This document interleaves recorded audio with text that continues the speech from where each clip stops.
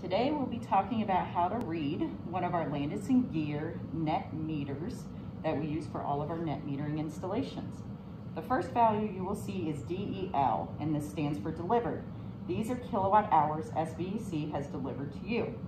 The next value you will see is DMX, which stands for demand and is measured in kW. The third value you will see is REC, and this stands for received. These are kilowatt hours we have received from your solar array. The last value you will receive is net. This is delivered minus received and is measured in kilowatt hours. This value can go up or down depending on how much power your solar array is producing.